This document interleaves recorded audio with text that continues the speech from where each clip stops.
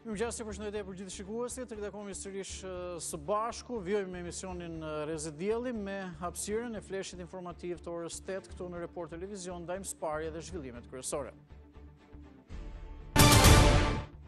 Sot PD e Berishës do të mbajë primaret për të zgjedhur kandidatët zyrtarë për 14 majin. Në këtë garë më e forta pritet të jetë ajo e Tiranës, ndërsa situatë komplekse është edhe për shkak të përplasjes në Kurbin.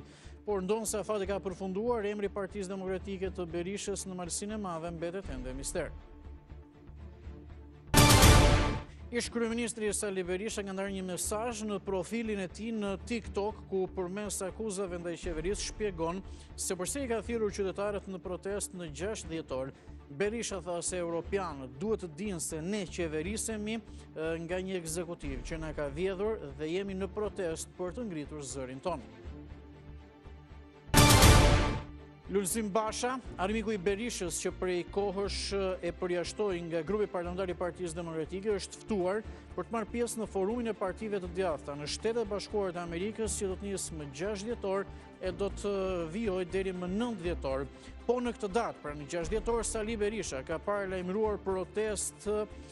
Në një ditë historike për Tiranën atë ku zhvillohet samiti i Bashkimit Europian me Ballkanin Perëndimor. Kryeministri Edi Rama sot duke nisur nga ora 11 do të zhvillojë një bashkëbisedim live në rrjetet sociale Facebook, Instagram në vigjilje të samitit BE Ballkani Perëndimor. Rama fton qytetarët të flasin edhe të dërgojnë të gjitha pyetjet për këtë takim të veçantë për vendin tonë. Kryeministri thotë se do të përzgjidhen pyetjet më me spec krahas pyetjeve të gazetarëve që po ashtu do të jenë të pranishëm. Në ditën e personave me aftësi të kufizuar, Report Televizion sjell historinë frymëzuese të Bujanës nga Lezha, përballë të gjitha vështirësive, dashuria e vajzës së vogël dhe bashkëshortit, i është kthyer në një burim force.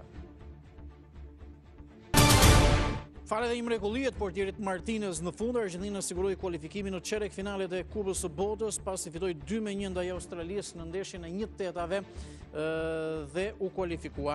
Tashmë amerikano-latinët do të kenë përballë në çerekfinale Holandën, që dje më herët fitoi 3 me 1 ndaj Shteteve të Bashkuara të Amerikës. Sot luhen dy sfidat e radhës, Francë-Poloni e Angli-Senegal. Luftëtarët e njësisë speciale Carlson ngritën flamurin e Ukrainës në bregun e majtë të rajonit të Kersonit. Ndërkohë diplomatët rusë kërcënojnë për një dimër të vështirë duke paralajmëruar Europën se në muajt e ftohtë nuk kanë naftë ruse. Microsoft veçon se duhet përgatitemi për një ofensivë kibernetike ruse këtë dimër.